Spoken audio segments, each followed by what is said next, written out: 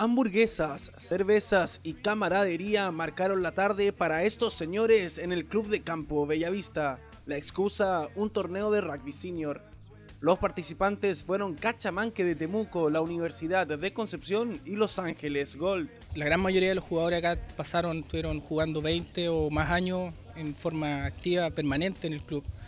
Ya muchos tienen, bordean entre los 40 y los 50 años, tienen un apego muy especial por la camiseta y cuando empezamos esto hace tres años atrás a participar en los campeonatos serios, se empezaron a, empezaron a volver. La gente empezó a volver, que había dejado de jugar, que habían colgado los botines ya, empezaron a volver para participar y los, están súper motivados y la idea es mantenerse en actividad. Eso es lo principal. A todos les gusta. Esta organización parte de, de un campeonato que tenemos en la zona sur con Los Ángeles y Temuco, donde estamos haciendo cada uno su asociación de seniors para el sur del país. Y la organización hoy día nos tocó a nosotros esta fecha hacerla aquí en, en agosto, aquí en el Club de Campo de Bellavista. Y se pasa tan bien que el equipo de Cachamanque viene desde Temuco para participar. Nosotros ya llevamos seis campeonatos como, como estos, que son encuentros en realidad, no son campeonatos. Igual como el rugby de menores. Aquí no hay campeones, solamente el hecho de, de estar con la balada, juntándose con los amigos.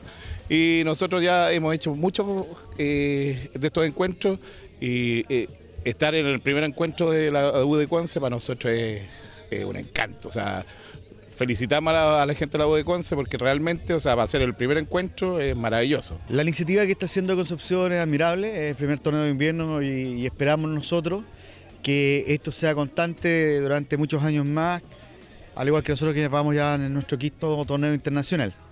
Ahora, nosotros como veteranos estamos abiertos a brindar todo el apoyo a la Universidad de Concepción, entregar también el apoyo con Argentina para que el próximo año ojalá tengamos equipos argentinos acá jugando igual que Temuco y esa es la idea. Reglas especiales para evitar las lesiones demuestran que estos deportistas mayores de 35 años tienen como prioridad divertirse a través del deporte. Un ejemplo de vida.